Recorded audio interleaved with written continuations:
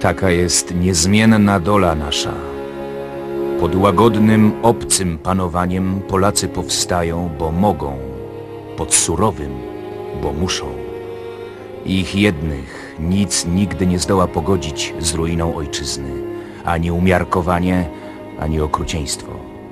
Ta konieczność z jednej strony ciągłego uciemiężenia, z drugiej ciągłego oporu, ten mus tyranii i kruszenia jarzma, ten tedy fatalizm wynikający z rozbioru Polski, porywający sobą i Polaków i ich gnębicieli, nadaje wszystkim poruszeniom naszego narodu wzniosły, traiczny charakter. Polska potężna i niepodległa była jedynym romansem mojej młodości. Myśl, że prędzej czy później Moskwę z jej petersburskimi carami zapędzimy w stepy azjatyckie, była jedyną poezją mojego życia.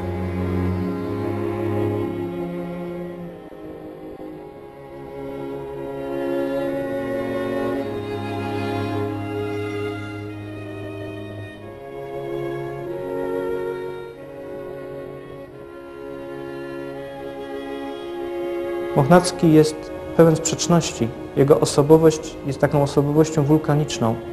E, racjonalista, pragmatyk z jednej strony, a z drugiej strony osoba e, skrajnie uduchowiona, nastawiona do świata w skrajnie idealistyczny sposób, dla której są tylko i wyłącznie mm, wyraziste hierarchie wartości. jest jednym z tych ideologów, teoretyków, pisarzy, którzy nieustannie marzą o tym, żeby, żeby działać, prawda? żeby w czynów stel uderzyć. Prawda? No to, to są te wielkie gesty, to przekreślanie rękopisu yy, o literaturze polskiej w wieku XIX. No teraz życie, powstanie, walka. Yy, I to zresztą u wielu intelektualistów ten wątek potem się wciąż ponawia, prawda? Słowa to za mało, książki to za mało. Tylko tak naprawdę no, ci ludzie, którzy za czynem tęsknią, niekiedy umieją jedynie pisać książki. To była jedyna rzecz, którą on umiał. ludzie świetnie piszący, ludzie mm, delikatnie myślący piszą i myślą nerwami, bo naprawdę to nerwy o wszystkim decydują, napięcie nerwowe. Mochnacki żył w wielkim napięciu nerwowym. E, To napięcie nerwowe wypełniało mu chyba całą przestrzeń psychiczną, aż trudno doszukać się jakichś zwykłych momentów jego biografii. Ta biografia jest zapisana twórczością, polityką, sztuką. On tak żył. Gdyby nie Moknacki, to w ogóle w Warszawie nie byłoby romantyzmu, prawdę mówiąc. Dlatego, że romantyzm warszawski był tak zupełnie inny od wileńskiego, a przede wszystkim ze względu na sytuację historyczną, no i oczywiście na brak ogromnych talentów y, w skali Mickiewicza czy Słowackiego w Warszawie. Właściwie jedynym takim wielkim talentem y, literackim to był właśnie Maurycy Mochnacki. Ja go cenię nie za to, co on zrobił, ale go też, też nie za to, że on miał jakieś, e, znalazł intelektualnie jakieś rozwiązanie. Co do jego rozwiązań politycznie jestem dosyć sceptyczny. Ale on był jeden z najbardziej trzeźwych umysłów swego czasu. On miał coś e, z, z wielkiego bohatera romantycznego, prawda, z Kordiana, że tak powiem. To jest, on był zdolny na takie wspaniałe porywy z jednej strony i z drugiej miał na pewno w sobie jakieś cechy depresji i wielkich e, upadków e, w, w, charakterze. To jest, to jest bardzo dziwna i charakterystyczna postać, która w końcu bardzo bliska jest do całego pokolenia romantycznego, prawda? I tragiczna postać w końcu.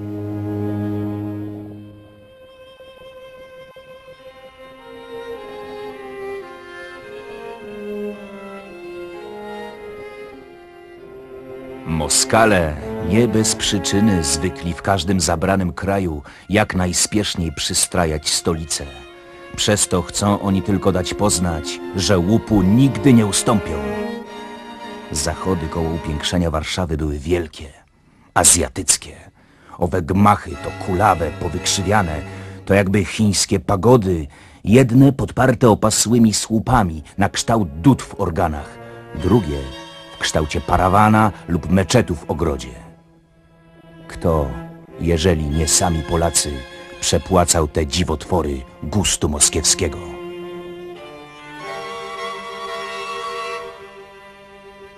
Wokół niego grupowało się to młode środowisko literackiej Warszawy.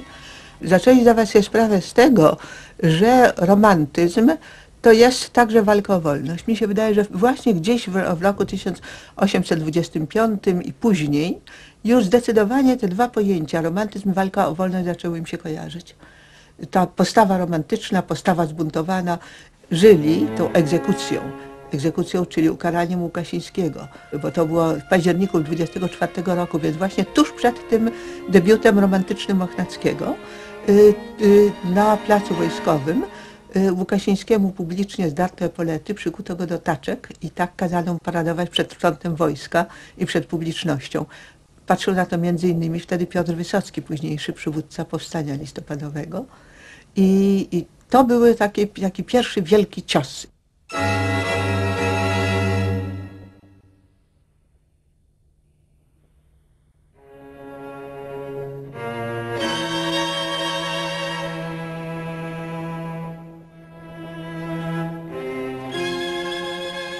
Wszystko, co przemawiało do imaginacji, zdawało się mieć na celu ojczyznę uciśnioną przez obcych wrogów. Wszystko, co było poetyckie, było tedy patriotyczne. Tym sposobem literatura w Polsce, jak ludzie, konspirować zaczęła. Tym sposobem wytłumaczyć sobie potrafimy, dlaczego w tej właśnie porze, a nie pierwej, ani potem, zjawia się w tej literaturze taki człowiek, jak Adam Mickiewicz, który był równie wielkim politykiem, choć może o tym nie wiedział w swej poezji, jak Lelewel wielkim poetą w swej polityce. To jest w historii i krytyce historycznej. Te zdumiewające zjawiska, ta osobliwa jednoczesność tylu rozmaitych, do jednego celu zmierzających kierunków, wyjaśnia naturę pogrobowego jestestwa Polski. Charakteryzuje jeden z pierwiastków tego jestestwa po rozbiorze kraju sprzysiężenie. Uważa, że naród staje się narodem w ścisłym znaczeniu słowa wtedy, gdy uzyskuje czy zdobywa uznanie się w swoim jestestwie. Tu Mochnacki świadomie posłużył się już za jego czasów archaicznym sformułowaniem wziętym od Piotra Skargi. To uznanie się w swoim jestestwie to, to jest, mówiąc bardziej takim akademickim, technicznym językiem, samoświadomość narodowa, czy samowiedza narodowa. Zdaniem Ochnackiego naród zdobywa uznanie się w swoim jestestwie dzięki wszystkim swoim wytworom kulturowym. I, czyli dzięki temu, co on nazywa literaturą. Ale literatura dla niego to, jak on sam mówi, ogół uczuć, myśli i wyobrażeń zobiektywizowanych w postaci utworów literackich, dzieł sztuki, dzieł naukowych, dzieł filozoficznych. Y, Z, te, z tej perspektywy y, sztuka i literatura jest czymś y, decydująco ważnym dla trwania i istnienia narodu. Mochnacki pisał także różne krytyki muzyczne. Przecież w Warszawie mieszkał Chopin. Wyjechał tuż przed powstaniem listopadowym jesienią 1830 roku i w Warszawie był znakomity, był i grał znakomity skrzypek Karol Lipiński. W Warszawie y, występował nawet Paganini bo z okazji koronacji cara Mikołaja I odbył się taki wielki koncert, na którym właśnie wystąpił Paganini i Karol Lipiński. I co więcej, Paganini pozwolił wtedy Lipińskiemu grać na swoich skrzypcach. To podobno się nigdy nie zdarzało.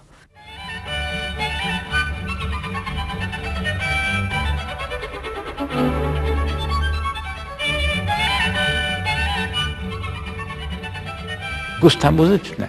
Mickiewicza, Słowackiego, Krasińskiego, no obracały się raczej w sferze, no tak jakbyśmy to gdzieś powiedzieli, muzyki popularnej, no bo to była opera, no i jakoś, no jakieś sielskie, no jakieś sielskie nuty, prawda, no to co Mickiewicz, to co Mickiewicz pisze na temat muzyki, no to można powiedzieć, to jest, no to dla nas którzy tę muzykę niesłychanie e, no, cenimy, no, w Panteonie Sztuk ona jest obok wszystkich innych, no to, no to jest żenujące nieraz. No, podobnie, mm, podobnie Słowacki. No oczywiście, no, można powiedzieć, że oni mieli w swojej poezji muzykę, więc tego nie potrzebowali. Natomiast na tym tle Mochnacki tu wychodzi na jakiegoś prekursora. Był to typ krytyka, moim zdaniem no, zupełnie wyjątkowy. On miał oczywiście bardzo gruntowne wykształcenie muzyczne. Grał biegle na fortepianie, no przecież z Chopinem koncertowali. Dlaczego on dzisiaj może być uznany za patrona w ogóle polskiej krytyki muzycznej? Ponieważ on jako typ krytyka intelektualisty, myśliciela, ma niesłychaną odpowiedzialność za słowo, za sądy, za wartościowanie, Ów rzeźbiarz nie używa dłut zwyczajnych, ale ma dłuto osobliwsze. Ów znowu skrzypek, świegoce przy podstawku, bierze szybkie pizzicato lewą ręką z góry na dół, a nie z dołu do góry, sypie gryfy, tryle, częstych używa flażoletów, śwista, pstryka, dzwoni. I cóż stąd? Jeżeli tylko obraz malarza jest piękny, jeżeli w niemym posągu jest dusza zamknięta, jeżeli koncert skrzypka zadziwi, omami choć na chwilę, Cóż nam przyjdzie z wiadomostek o pędzlach, proszkach, dłutach, gryfach, trylach i dzwonkach?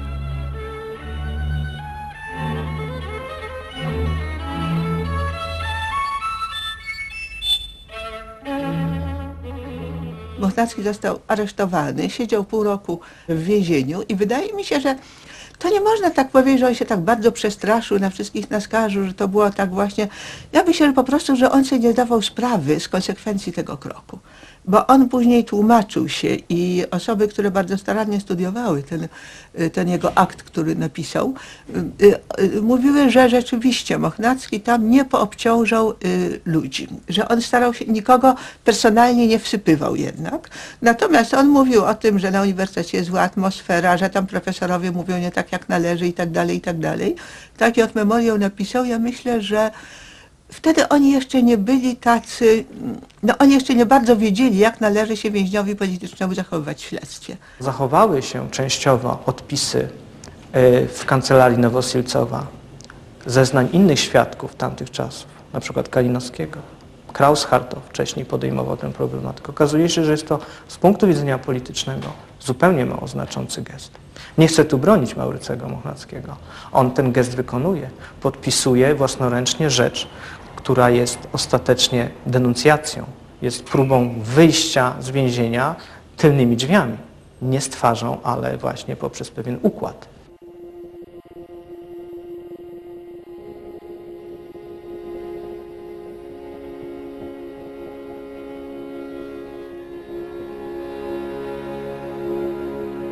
Wielu patriotów przed rewolucją, jak na przykład szanowny sąsiad mój w tym więzieniu, najstarszy karmelita Adolf Cichowski, lat kilka w takiej komnacie przesiedzieli.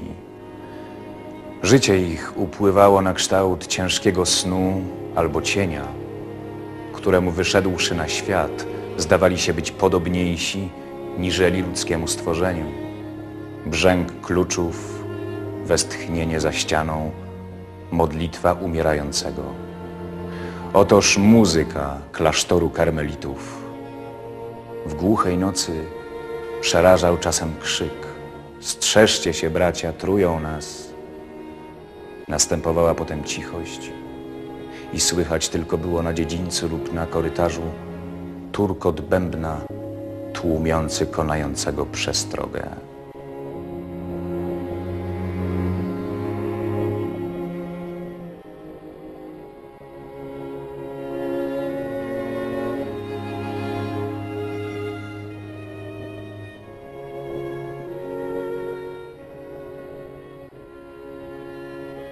Kiedy Mochnacki wyszedł po spiskach, po procesach, kiedy oni już zobaczyli, że nie da się dogadać z Stanem Aleksandrem I i że to nie jest żaden liberalizm, tylko to są tylko wyłącznie pozory, to wtedy do nich chyba po prostu ta literatura romantyczna zaczęła przemawiać w podobny sposób, jak w Wilnie było to kilka lat wcześniej. Zresztą wtedy w Warszawie już y, krążyły, y, niemal natychmiast dostały się pierwsze tomiki Mickiewicza i nie wiadomo y, na ile można wierzyć wspomnieniom, bo według wspomnień to wszyscy je wtedy czytali, cała młodzież nimi zachwycała i znała je za, y, na pamięć. Bardzo wielu wówczas uważa, że wprawdzie Rosja to i owo łamie, konstytucji nie przestrzega, zachowuje się niekiedy abominacyjnie, ale w ogóle to nie jest źle. I to małe królestwo jest już czymś, no, co warto bronić. Mochnacki od początku uważa, że nie warto bronić. Że królestwo to jest chimera, a konstytucja, choćby nawet bronić się e, zapiekle, prędzej czy później tak będzie przez Rosjan ignorowana e, i nawet zignorowana. Że to wszystko od Rosji zależy, nic od nas.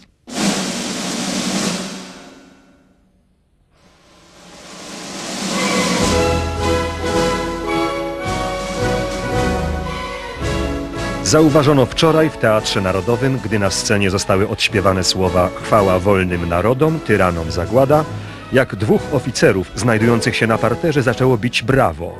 Lecz niejaki Wiłucki, urzędnik w Komisji Rządowej Wojny, przerwał im mówiąc Nie widzą wać panowie, że szpieg stoi za wami? Z raportu Makrota, szpiega rosyjskiego.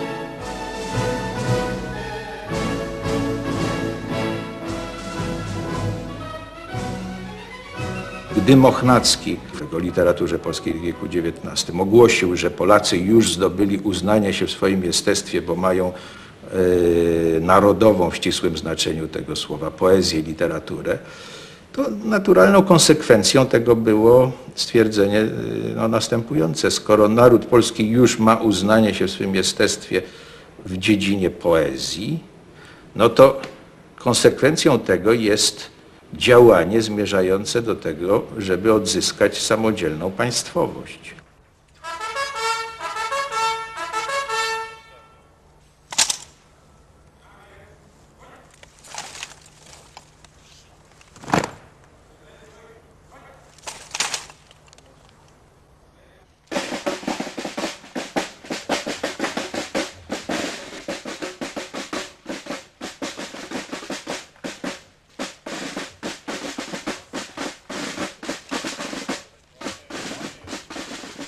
Czas nareszcie przestać pisać o sztuce. Co innego zapewne mamy teraz w głowie i w sercu. Improwizowaliśmy najśliczniejsze poema narodowego powstania. Życie nasze już jest poezją. Zgiełk oręża i huk dział. Ten będzie odtąd nasz rytm i ta melodia. Nie literatura polska, ale polski kraj, szeroki, bujny, z wszystkim ludem swoim, z łanami i stepami, taki jaki był przed wiekiem. Niechaj nas przede wszystkim zajmuje.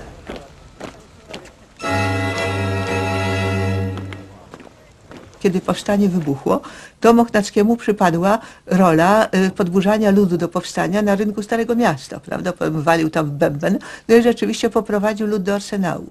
Mochnacki nadzwyczaj jest ożywiony i od samego początku stoi w opozycji do wypadków, bo on chciałby, aby one szybciej biegły, inaczej biegły, radykalniej biegły.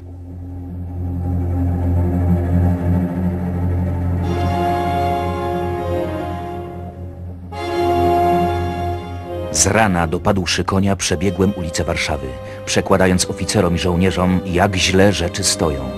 Szkoła podchorążych wszystko wtedy mogła. Oświadczyłem wręcz tej dzielnej młodzieży, że Chłopicki zawodzi nadzieję narodu. Że jeżeli szkoła, która zaczęła rewolucją, nie zbawi jej w tej zaraz chwili wielką energią, wszystko niepochybnie wróci do dawnego porządku. Podchorążowie usłuchali mnie, zaczęli nabijać karabiny. Zamiarem moim było pójść z nimi natychmiast do banku. Po co? Na to odpowiadam szczerze, jak na ten czas myślałem, ażeby pewien mózg finansowy prysnął, jeżeli nie pod same gwiazdy, to przynajmniej pod sklepienia bankowe i tym sposobem zreflektował inne mózgi mniej zatwardziałe. Umarli bowiem nie tylko nie mówią, ale mają jeszcze i tę zaletę, że się nie mylą i pomyłkami swymi kraju w przepaści nie ciskają.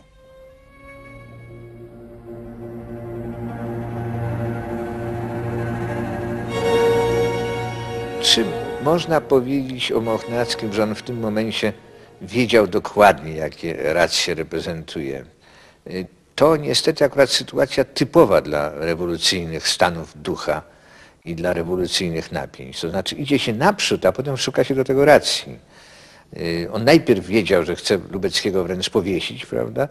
Poszedł ze szkołą podchorążych na bank, po czym po drodze trafili na Wysockiego, który klęknął przed nimi i powiedział, że po moim trupie pójdziecie dalej. No a potem skończyło się tą no, słynną akurat biografii Mochnackiego sytuacją, kiedy chroni się akurat przed ludźmi gotowymi go zlinczować w mieszkaniu, w pomieszczeniach samego Lubeckiego i dochodzi tam do kilkugodzinnej, no jak widać pasjonującej rozmowy, bo jednak Lubecki rozmawiał z nim i odkrył w nim rzeczywiście wybitny intelekt. E, Bardzo szybko porzucają go ci, którzy do, do siebie zdążą już przyzwyczaić. Potem przeciwko niemu występują, no więc mają go za zdrajcę. Jeśli mm, generalicja Chłopicki przez żołnierzy kochany mówi, że powinniśmy wygrać jakąś bitwę, ale właściwie specjalnie się nie rozpędzać, a w tym samym czasie Mochnacki mówi, że powinniśmy przenieść powstanie na ziemię niegdyś zabrane, czyli leżące poza królestwem i że królestwo to za mało, że nie robi się powstania dla obrony konstytucji, że mm, to wszystko mizeria, że do czego innego dążymy, dążymy do niepodległości, krew naszą y, Polsce, y, idziemy na całość, jest coraz bardziej radykalny. On właściwie y, eskaluje y, żądania, postulaty. Chce spalić za sobą mosty. Otóż w tym punkcie filozofia generałów jest e, dokładnym zaprzeczeniem e, filozofii Mochnackiego. Oni robią wszystko, żeby żadnych mostów za sobą nie spalić, żeby w każdej chwili móc siąść do stołu obrad, a on idzie na całość. Terroryzm obskurantyzmu politycznego. Terroryzm socjalnego nierozumu mistrzuje w naszej rewolucji. Nie masz żadnego na to złe lekarstwa. W imię jedności i zgody tylko co nie zgubili Polski przyjaciele dyktatora. Wszelką przeciwko niemu opozycję nazywano zdradą kraju. Biada temu u nas, kto myśli swoją głową i swoim rozumieniem, rzeczy około siebie pojmuje. Polska nie zginie brakiem obywatelstwa i cnoty. Nie zginie brakiem męstwa i środków materialnych, ale zginie terroryzmem nierozumu. No i stale mówił w kilku mm, przynajmniej artykułach, zapewne w wielu wypowiedziach, że mm, naród musi stanowić mm, większość y, społeczeństwa polskiego, a nie mniejszość, nie szlachta. Należy więc chłopów uobywatelnić, on to zresztą nazywał nieco inaczej, chłopa zamienić na pana, zziemianić. E, Taka była droga do rozprzestrzenienia powstania.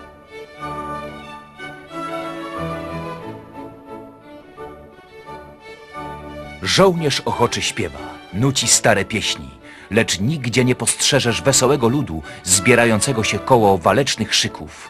Nigdzie wiejska drużyna nie wita zbrojnych braci. Skądże to pochodzi? Dlaczegoż ta sprawa nie nosi na sobie cechy rodzinnej, domowej, dla Boga? Cóż to znaczy? Gdzież jest zgiełk oręży, samym postrachem rażący wrogów tej ziemi? Gdzież gwar ludu w poprzek całej Polski wołającego do broni?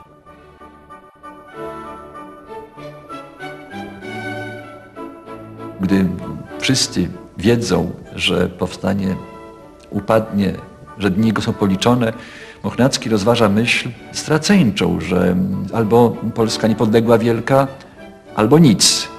O małe rzeczy walczyć nie warto. To wtedy rzeczywiście jest osamotniony, bo tak ekstremalnych y, postulatów, myśli, o ile sobie przypominam, żaden z działaczy listopadowych nie formułuje. A w dodatku on to czyni w jakimś anielskim natchnieniu, co kiedyś później dużo ładnie Norwid skomentował, pisząc o fragmentach Maurycego natchnionych. Podłożyliśmy prochy pod ulice naszego miasta. Zapalimy je w razie ostatecznym, żeby niesyty mordów Moskwicin razem z brukiem i gmachami albo w powietrze wyleciał, albo się w gruzach tych gmachów zagrzebał. Nigdy się car nie doczeka dobrego dla siebie końca tej sprawy. Rosjanie mogli Moskwę spalić dla odparcia obcej przemocy. My w podobnej sprawie gotowiśmy Warszawę w powietrze wysadzić, a następnie w poprzek całej Polski roznieść taką pożogę, że gdyby ją nawet wróg zawojował, to i za sto lat owoców swej złości pożywać nie będzie.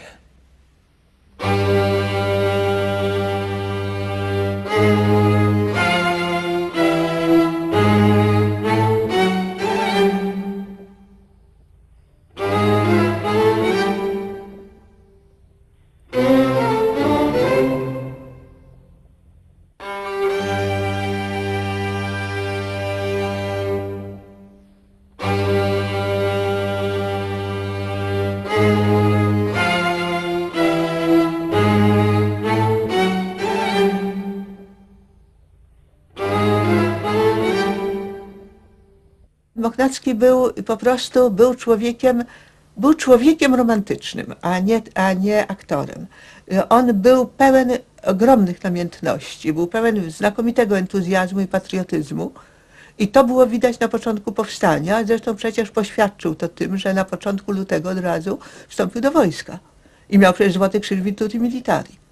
Zbyt łatwo mówimy właśnie o teatrze, o tym, że ktoś był wieszczem, że miał posłannictwo, że jak gdyby stroimy w takie trochę fałszywe teatralne piórka działania, które były szalenie mądre, racjonalne, świadczyło o wielkiej inteligencji, o wielkim patriotyzmie i o czymś chyba więcej, bo poważniejszym niż, pos, niż poczucie posłannictwa, dlatego że o chęci poświadczenia nawet własnym życiem, nawet za cenę śmierci w powstaniu, tak jak to robił Mochnacki, czy śmierci później na emigracji prawie z głodu, y, słuszności swoich poglądów i wiary w swoje poglądy. To jest chyba coś więcej niż posłannictwo i wieszczenie.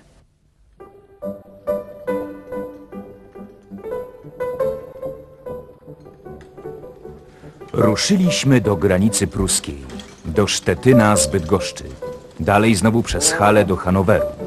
Gdybym był chciał, Niemcy byliby mnie zbogacili jak Krezusa. Od wszelkich wymówiłem się darów, które dumie wygnańca dobremu tonowi tułacza uwłaczają. Oberżyści na drodze nie chcieli rachunku podawać. Niemcy na rękach nas nosili.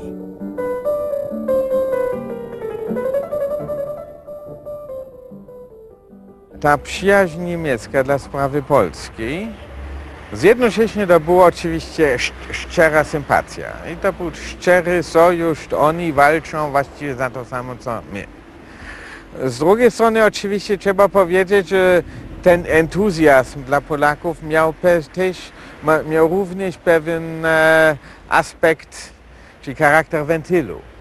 E, nie, nie jesteśmy w stanie robić własną rewolucję, a więc klaskujemy przynajmniej na, e, na tą obcą, bo, bo to, to nas zostaje i to jest dosyć bezpieczne, to nic nie ryzykujemy w tym. Oczywiście entuzjazm był duży, e, pomagano bardzo dużo, powstało ponad tysiąc jakichś tam pieśni po polsku i tak dalej.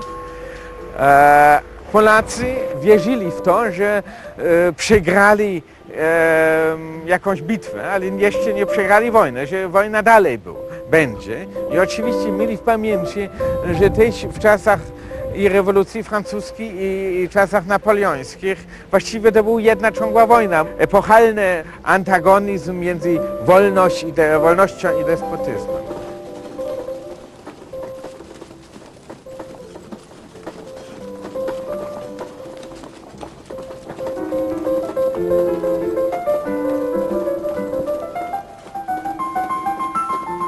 Oni mieli pełną głowę brzasku broni, śpiewów rewolucyjnych i napoleońskich, a okazuje się, że tutaj mamy naród sklepikarze i u Mickiewicza są bardzo okrutne prawda, stronice w stosunku do Francuzów na miarę jego rozczarowania, ale przecież Republika Rzeczpospolita dla Polaka to wcale nie znaczy Republika dla Francuza. To y, ta, ta wasza y, republika to, by, to była, prawda, no, Rzeczpospolita, szlachecka i tak dalej. I ta szlacheckość emigracji y, przeszkadzała po prostu Polakom, żeby oni się czuli we Francji, w demokratycznym bądź co bądź bardziej demokratycznym kraju, zupełnie swobodnie i, i jak u siebie. Tutaj panowali porządki zupełnie, zupełnie inni, co stworzyło pewne kłopoty dla, dla współżycia.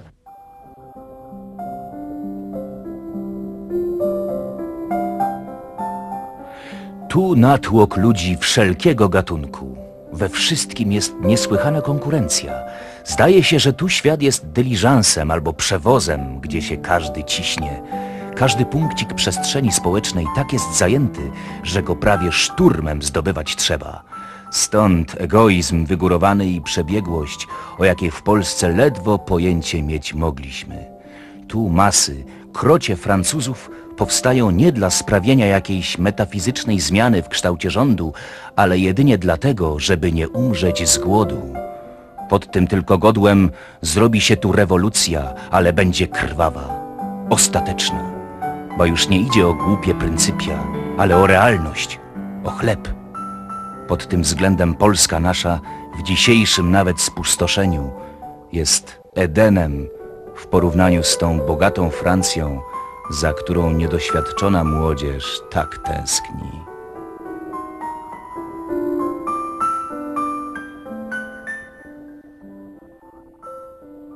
Właśnie wtedy zaczęto mówić o Polaku jako o spiskowcu. Prawda? To, to nie tylko Polacy byli, Włosi byli wtedy no i różni, różni przedstawiciele wszystkich e, no, ug- ugnie, ugniecionych e, ludów. Ale Polacy byli jednak zajmowali w tym wszystkim pierwsze miejsce i, i, i trzeba powiedzieć, że niektórzy nawet w swoich dalekich zakładach zachowywali się w sposób mm, troszeczkę niezgodny z, dobrym zachowaniem w, w kraju, który przejmuje emigrantów. Oni chcieli na przykład ćwiczyć wojskowo z, z, z całą amunicją i ekwi- ekwipunkiem, co było trochę naturalnie dla policji podejrzane.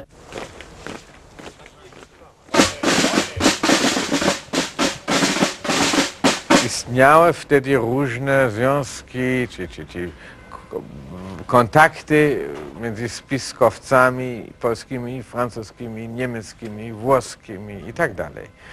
E, I powstał oczywiście w tych kręgach pomysł o wspólną rewolucję europejską.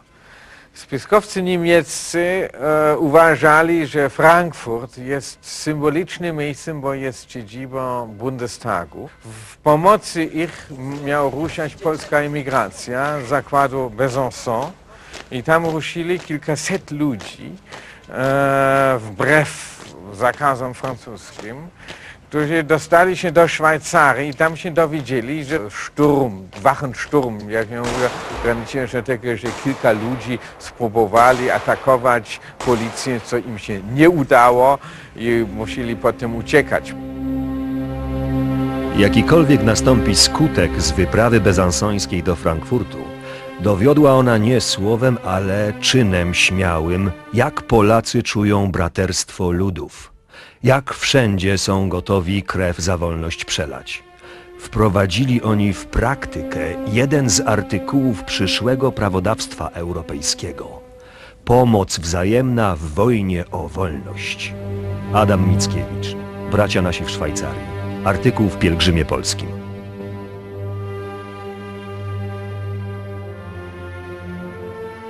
Dlaczego sprawa nasza tak silna w początku, w środku i na końcu zginęła? Dlatego, żeśmy patriotyzmu w potęgę despotyczną zamienić nie umieli. Że się nikt nie bał ojczyzny, nikt jej nie słuchał, a wszyscy ją bezkarnie krzywdzić, oszukiwać i zdradzać mogli. Czy to podlega zaprzeczeniu?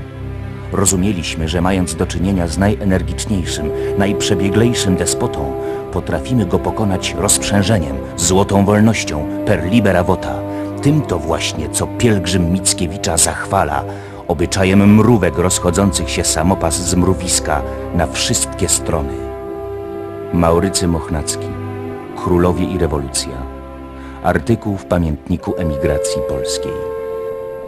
Poezja romantyczna, zwłaszcza ta poezja mickiewiczowska y, z, z ksiąg Pie- Pielgrzymstwa i Narodu Polskiego, ona namawiała do tego, by o tej sytuacji Polaków myśleć w kategoriach jakiegoś e, prowidencjalnego, boskiego planu.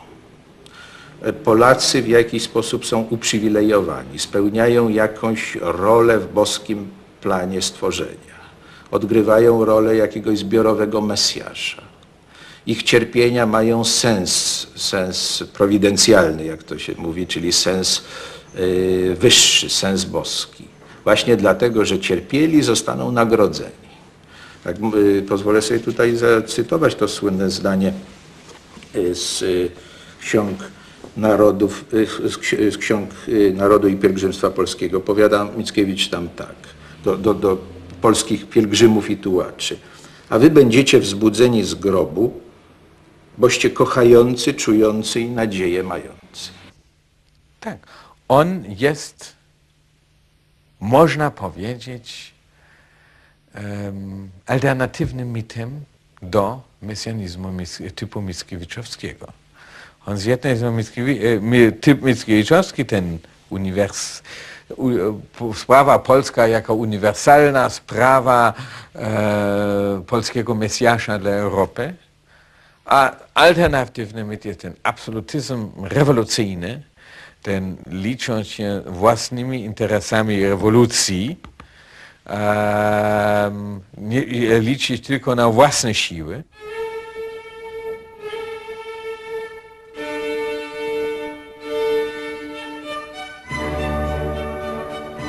Literatura w Anglii i Francji zamieniła się w gazetę codzienną, którą machina parowa wytłacza, którą szyfonierzy nazajutrz rozrabiają, której resztki rozpływają się w kloakach.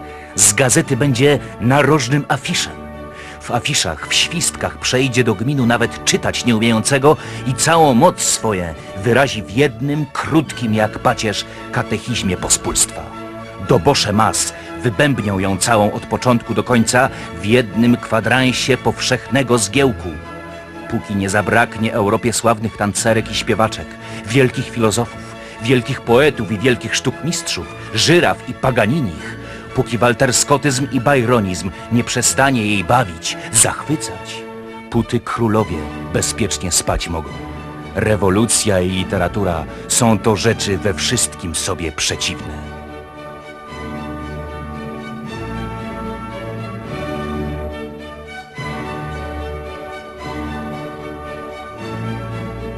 Mochnacki jedną rzecz sobie pewnie uświadomił, że literatura, a w, w, w, pewnego rodzaju literatura w szczególności, może nie tylko służyć e, uzyskaniu przez naród swojej samowiedzy, czy, zdobyciu uznania się w swoim jestestwie, ale może mu również przeszkadzać. Że e, pewnego rodzaju literatura i poezja, ta romantyczna poezja, ma charakter, może mieć charakter, tak powiedzieć, eskapistyczny. Może mieć charakter kwietystyczny. Emigracja polska w Paryżu przeszkadzała mi pisać o rewolucji. Komitet Polski wyprawiał Michała Podczaszyńskiego do Metz w interesach swoich. Udałem się więc do Metz z rękopismem swoim. Tylko tym dziełem położyć zdołam kres plotkom, bajkom, obmowie. Na wydaniu tego dzieła wszystko zależy. List Michała Podczaszyńskiego do rodziców Maurycego. Maurycek zawsze charmant, teraz zrobił się wielkim elegantem. Do niepoznania chłopiec. Ma on tu słabość do jednej osóbki, panny Klementyny S. Panna bardzo piękna, najczulsza ze wszystkich Francuzek, a gra na fortepianie z taką duszą, że pan Maurycy w głowę zachodzi. Ja sam nie dostrzegłbym wielu rzeczy, gdyby mię nie wiodło elektryczne światło pana Maurycego, którego pierwszy raz usłyszałem uwielbiającego wdzięki kobiece. Co to będzie? Oba dzieła, i pan Tadeusz Mickiewicza, i Powstanie Narodu, powstają jakby w tym samym czasie. W tym samym czasie są też wydane. Dlatego warto je tu w tym momencie porównać jako dzieła epickie. O epickości może też e, świadczyć zakrojony na wielką skalę e, temat. Dzieje narodu pokazane są przed powstaniem, w czasie powstania i mają wykraczać daleko w przyszłość ale owa epickość jest jakby osłabiana przez subiektywny charakter e, narratora. Mochnacki narrator często jest reportażystą. Noc listopadowa, e, ta część powstania narodu polskiego, w którym on opisuje noc listopadową, może być uznana jako pierwszy polski reportaż historyczny. Składnia ukształtowana jest w pewien specyficzny sposób. Otóż, kiedy czytamy, mamy niekiedy wrażenie, że oto y, słuchamy tonu retorów rzymskich.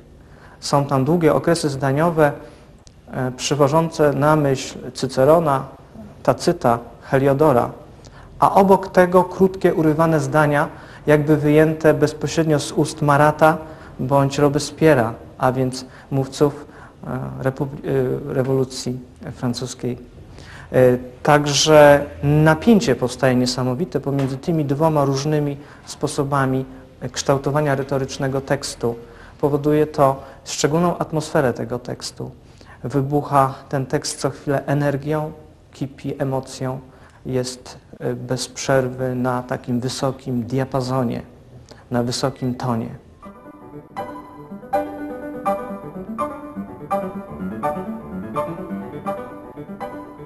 Powód mojego przeniesienia się z Paryża do Auxerre był nasamprzód potrzeba wykurowania się w tutejszym klimacie górzystym z ostatków słabości, które mnie męczyły od maja. Druga przyczyna jest, że tu dróg o połowę mniej kosztuje, jako też w ogólności wszystko jest o większą połowę tańsze, jak w Paryżu. Mam pomieszkanie ze ślicznym widokiem na rzekę, która pod oknami płynie i na góry, które otaczają miasto dokoła.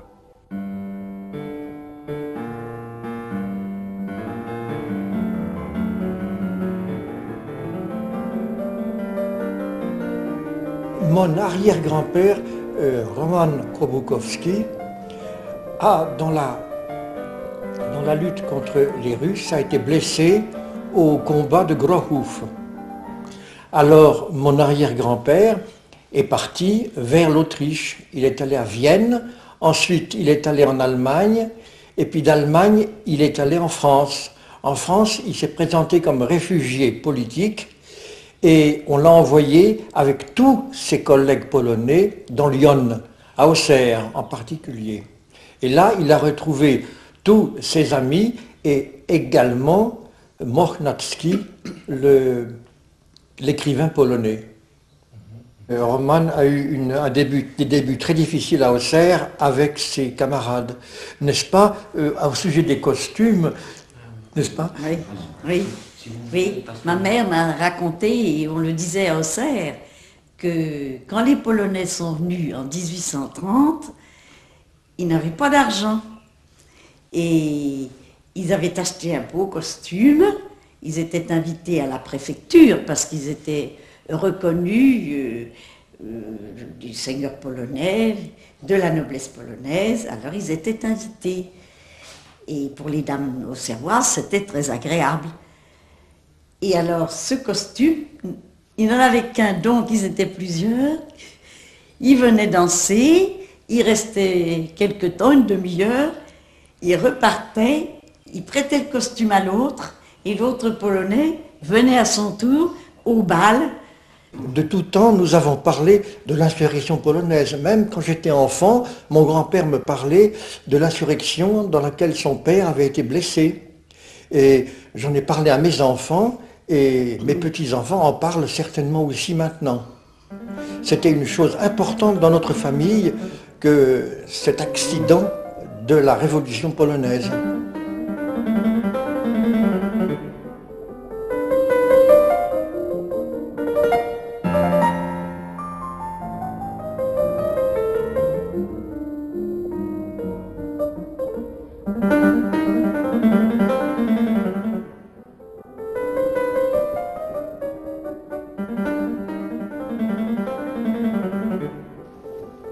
Rodacy, przyszedł czas, w którym by na koniec należało położyć kres marzeniom.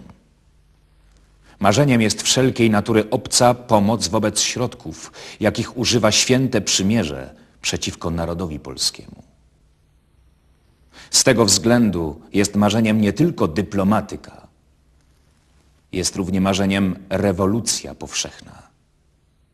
Daleko mędrzej, daleko bezpieczniej będzie powiedzieć nareszcie samym sobie, powiedzieć po raz pierwszy od stu lat. Rachujmy na wszystko, co wypaść może, ale się na nic nie spuszczajmy i nie wierzmy w nic, tylko w samych siebie.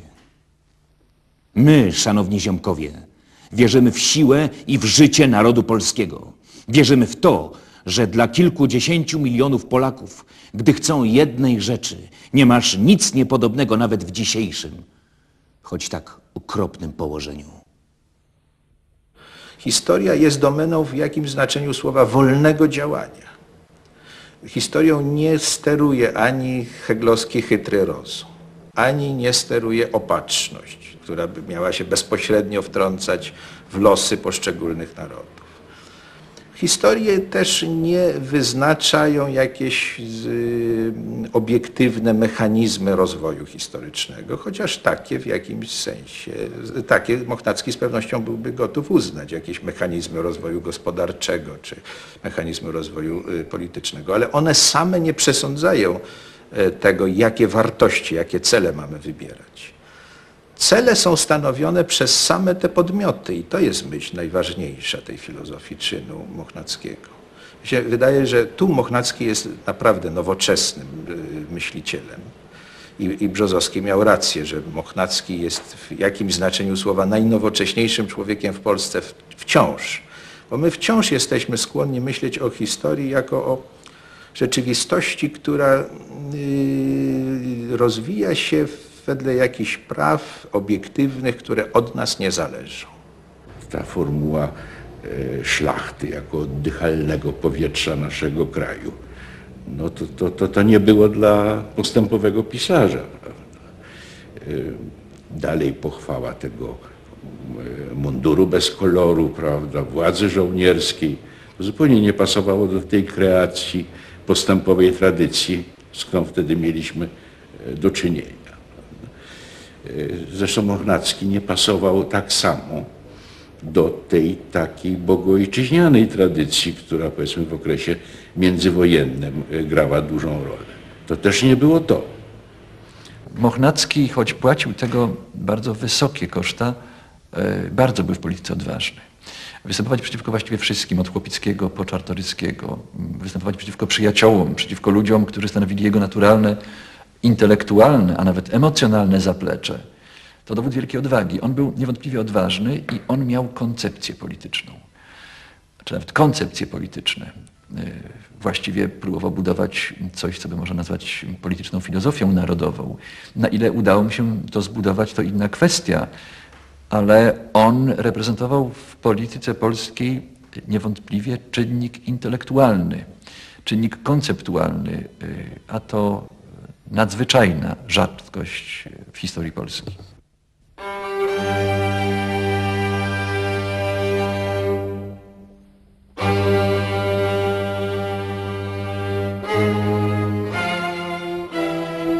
Mochnacki przepędził w Auxerre ostatnie dni życia wytrawionego gorącym uczuciem ojczyzny i natężeniem wszystkich sił wielkiego umysłu do jej ratowania, a następnie do nauczania Polaków, jak ją z grobu dźwigać mają. Po śmierci Mochnackiego, rozebrawszy ciało jego, doktorowie znaleźli serce rozszerzone, a wszystkie organa żywotne, pomimo najskromniejszego życia, tak zużyte, jak u zgrzybiałego starca.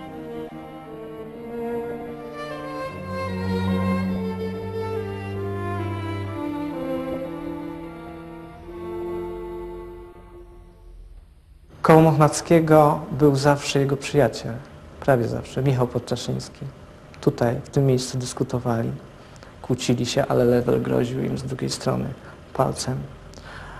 Podczaszyński był jakby alter ego Mochnackiego, ale w inny sposób przejawiał jego credo polityczne. E, Mochnacki był tak silną osobowością, że jego można było albo w całości akceptować, albo w całości odrzucać. Mochnacki tak daleko wykraczał poza horyzont, przestrzeń ówczesnej mentalności intelektualistów polskich, że nie mieścił się w tej przestrzeni. Michał Podczaszyński, którego przywołałem, był jedynym tak naprawdę i do końca wiernym przyjacielem tylko Maurycego. E, przyznaję, że niekiedy rozmawiam z Maurycym Ochnackim i z Michałem Podczaszyńskim i zawsze Michał Podczaszyński jest w tle Maurycego.